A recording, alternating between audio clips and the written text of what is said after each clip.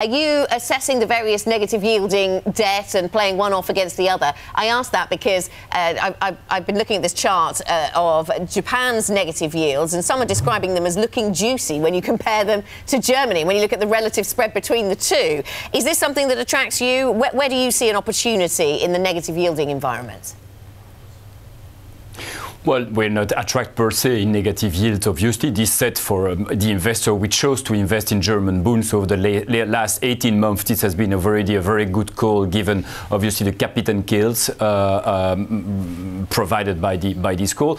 In Europe, we uh, put the emphasis on the periphery, excluding Italy until very recently, but Italy has recently uh, gained traction. I would say in Europe, we will probably continue to focus also on the uh, credit market, European high yield, for instance. Uh, uh, would be a, a, very interesting call. Otherwise, uh, we're obviously much more positive on the US yield curve, on the US credit market, given the carry that we that we have there. But in Europe, everything which has a, all assets which at the moment has a positive yield are clearly uh, uh, favored by investors. We should also not forget that for uh, foreign investor, I'm thinking about Japanese institutional investor, obviously investing in Europe has also been quite uh, quite attractive over the last couple of months. We've seen flows coming back also from Japan in uh, Europe, and I guess the outcome of the European election reassured uh, global investors somehow about the future of Europe, uh, obviously due to the fact that populists gained some traction in the European Parliament, but not enough to slow